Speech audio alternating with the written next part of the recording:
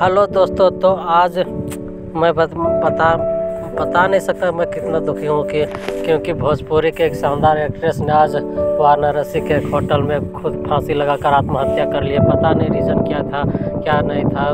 वो तो वो जाने वो या पुलिस छानबीन में पता चल ही जाएगा कि किस रीज़न से उस एक्ट्रेस ने आत्महत्या की है तो भाई लोग, उस एक्ट्रेस का नाम है आकांक्षा दुबे, जो बहुत, जिसका सुबह, आज सुबह ही एक पवन सिंह, पावर स्टार पवन सिंह के साथ एक सॉन्ग आया था, जिसे हारा कभी नहीं हारा यह सॉन्ग आज सुबह सात बजे, सात बज के पैंतालीस मिनट पर म्यूज़िक टोन पर यह गाना रिलीज़ हुआ था, और उसके एक घंटे बाद उसकी मौत की खबर आई।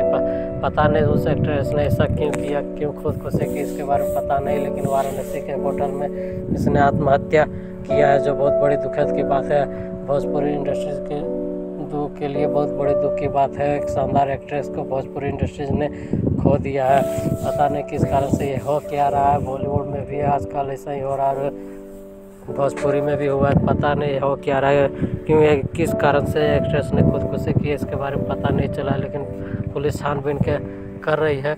जैसे ही पता चलेगा मैं आप लोग को ज़रूर बताऊँगा।